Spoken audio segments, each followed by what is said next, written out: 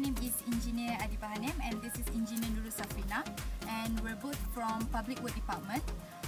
Today we are currently at Bukit Jelutong Residential Area where we will focus on the development of slope protection method used in this area.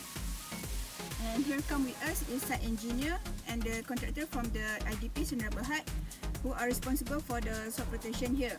Later on, we will interview them about to know more about the slope protection that has been built by them. Okay, here beside me is site engineer and also the contractor from the IDP Sdn Bhd. Uh, this is engineer Muhammad Nur Ain bin Dahya. He is the site engineer uh, who is responsible for the protection here at Bukit Jelutong residential area. And beside him is Muhammad Faizal bin Ayo, who is the contractor who have who has been built the slope here. So I'm here to ask them uh, about a few questions. Uh, I would like to ask engineer Muhammad Nur Ain. Uh, one of them is what is the method of construction of the slope here at Bukit Jelutong residential area? Firstly, I would like to uh, give you a simple explanation about the earthstone construction. Uh, method of construction earthstone is uh, using precast concrete block. We stack one block on top of the another without using uh, mortar, grout or geogrid reinforcement.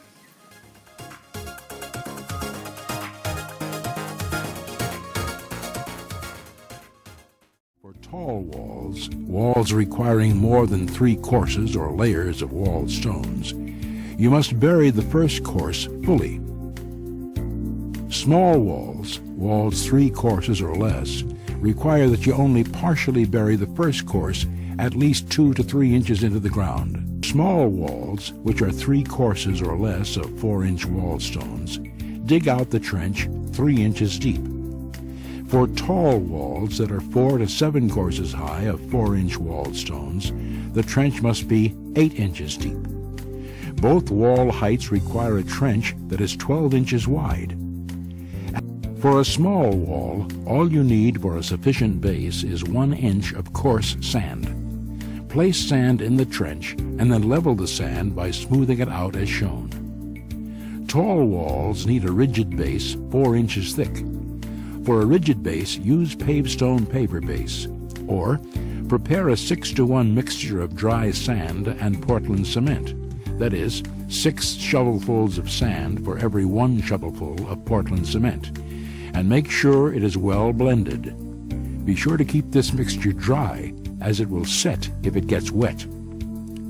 Whichever you use, fill the length of the trench to a depth of 4 inches. Use a 2x4 to smooth out the base material and make sure it is level throughout in both directions. Now, readjust the string height on your stakes by moving them down to the top of your first wall level. You are now ready to start laying the wall stones. If your wall is set on ground that rises or slopes, begin at the lowest point. Now, set the stones in the base side by side, leveling each stone in both directions with a torpedo level as you go. Once the base course is placed, set the next course by placing each stone in a staggered pattern, making sure that each stone bridges the two stones below it so that the joints do not line up. As you place a stone on top of a course, pull it forward to secure it in place. When building your wall, you may need to lay partial stones to complete a course. If you need to cut stones to partial lengths, mark the length you need on the stone. To finish out your project, backfill the wall with native soil and compact in 4-inch increments. For small walls, just use the soil you excavated from the trench. For tall walls, use a clean granular backfill like fine gravel or pea gravel at a thickness of about 6 inches to assist in draining. To engineer Muhammad Nur Ain is why IDP Sdn Bhd choose a stone retaining wall for this slope. Uh, there are many advantages about this uh, slope retaining wall. As example, because a stone is low cost, uh, which not use a geogrid reinforcement, require less excavation, mechanical equipment and labor. And exactly as you can see, uh, there are many kind of uh, vegetation grow. So the this type of uh, retaining wall uh, uh, is uh, environmental friendly for vegetation. Okay, so first I would like to ask Dr. Muhammad Faizal, what is the lifespan of this stone retaining wall? Actually, uh, for retaining wall design, we we, we design for lifespan minimum 15, fi- 50 years. But in uh, this stone stone retaining wall, we design for 100 years.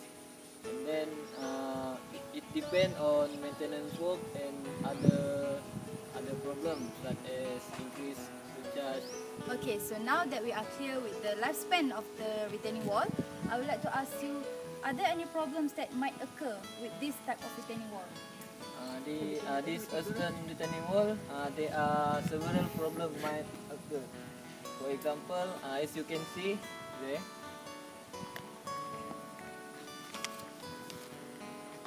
uh, problem with water seepage can occur where the surface runoff is decreased in this retaining wall, and then uh, addi- additional surcharge also can cause problem where for example construction of new house and then if uh, there are no maintenance work such as uh, tree cutting and road closing there will be problem to this earthstone and then water water from river if they increase increase increase in level they will cause uh, retaining wall to erode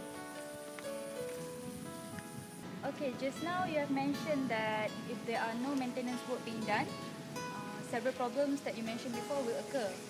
So, what are the examples of maintenance work that should be done here? Uh, there are many maintenance work we are done in this stone retaining wall.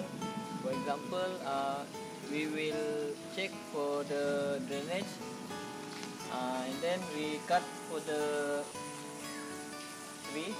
For example, as you can see there, there is one of the problem. But uh, when the maintenance come, uh, we will cut where the biggest tree.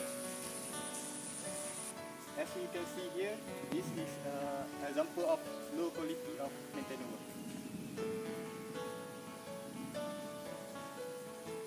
As you can see here, this is uh, the fault of fault design of the drainage system at the slope, which is uh, there are no extension of the drainage system to flow the water. So the water sit on the uh, near side of the uh, road. Okay, we hope all the knowledge that the engineers and the contractors share with us is useful for all the viewers. And we would like to thank them for all the efforts to come here and to give uh, their knowledge to share with, with us and all the viewers. Okay, that's all from us. Assalamualaikum and